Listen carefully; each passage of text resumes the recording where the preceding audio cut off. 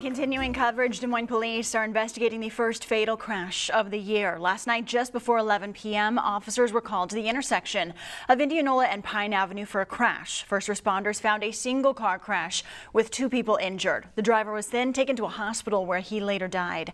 The passenger was taken to the hospital to be treated for minor injuries. Police say the car was speeding when it took a left turn and went off the road. The car then hit a utility pole before rolling and coming to a stop.